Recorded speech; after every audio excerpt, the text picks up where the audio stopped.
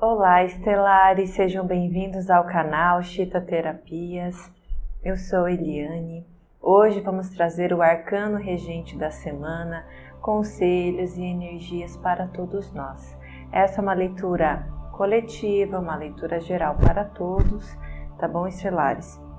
Aceite aquilo que fizer sentido. Vamos começar a tirar o arcano maior da semana. Quem nos rege essa semana, universo? Já quis cair aqui o arcano do mundo. Olha que lindo. Vamos ver a clarificação do mundo. Qual que é a clarificação, universo?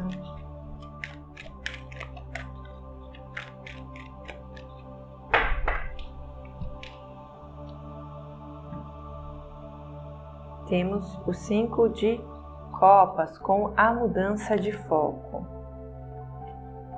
clarificar mais uma e a balança. Encontrando o equilíbrio.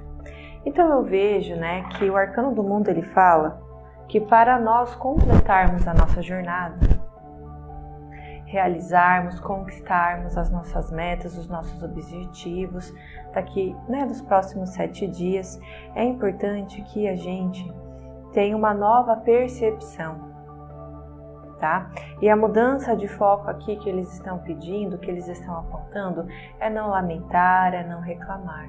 Muito cuidado com as palavras, com essa energia, né?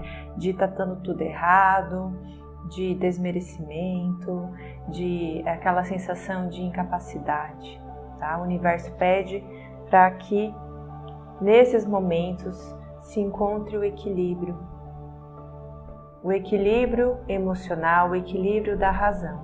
Realmente ver se aquilo está tão ruim quanto parece ser, quanto parece estar.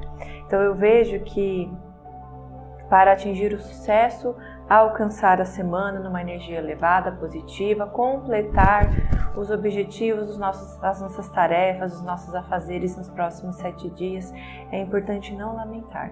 O cinco de copas, ele sempre fala de alguém que chora o leite derramado, chora as taças derramadas, mas não vê as que estão em pé. Não vê as oportunidades porque está lá chorando, lamentando, ai não foi assim, que pena. Né? Ao invés de estar atento, ter uma nova percepção sobre as oportunidades que aquilo traz. Às vezes o não abre sim, né? Às vezes o não que a gente recebe abre outros sims para nós, né? E aquele, aquelas outras oportunidades onde a gente vai crescer e vai atingir o objetivo. E o universo pede para que a gente esteja aberto, aberto às oportunidades que a gente não está mirando, né? Que a gente não está focado, que a gente não está vendo. Então, estar aberto, receptivo às outras oportunidades, tá? Eu vejo que aqui nós temos o número, né? Nós temos aqui o número 2, que fala de é, dualidade, de oportunidades.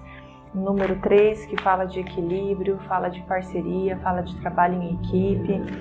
Então, é, às vezes a gente está atento a só um caminho, às vezes tem outros caminhos, né? Dois a três caminhos diferentes, formas de fazer que a gente não está percebendo porque está muito focado num só. Vamos ver o conselho, as clarificações que mais temos para os próximos sete dias. Temos a harmonia. Estar em harmonia é importante, tá? Entrar em equilíbrio, estar no estado de paz, né? Com é, é a própria mudança, né? Se o universo está apontando para a gente mudar o foco, ou seja, olhar outras oportunidades, é porque elas são mais, é, estão mais em sintonia, vão trazer mais crescimento, mais multiplicação para nós, tá? E clareza, né? Nesse momento, talvez você não tenha clareza, ou quando a gente estiver muito obstinado num caminho, a gente não tem clareza. Mas quando nós nos abrimos a ver um pouco além né, do que está ao nosso alcance, nós vemos o todo. Chegamos ao topo, vemos a clareza. E chegar ao topo e ver a clareza é justamente cumprir a jornada, arcano do mundo, realizar, tá? realizar. Vamos pedir mais uma mensagem. Temos aqui se render à jornada, soltar o controle. Então o universo pede, né, para que a gente tenha sucesso, para que o, a realização venha e a gente atinja o nosso propósito daqui sete dias, se render à jornada.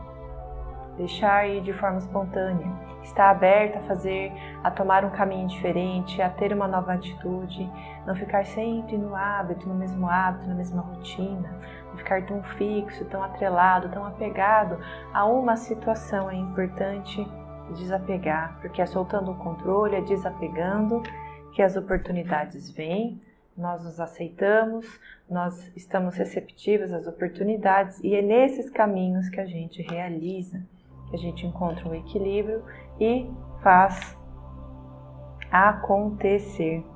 Tá bom, estelares? Essa é a mensagem para os próximos sete dias. Intenciono muita paz, muita luz para todos. Gratidão pela companhia e até mais. Tchau!